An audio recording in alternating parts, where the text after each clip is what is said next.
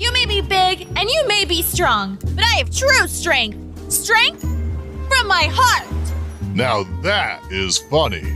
All right, girl. Let's put that heart of yours to the test. Uh,